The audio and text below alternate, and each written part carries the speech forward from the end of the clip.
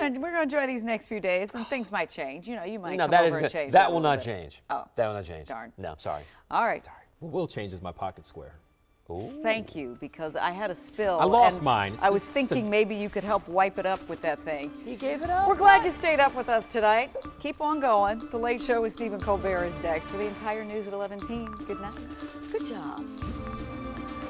Not good job. Good.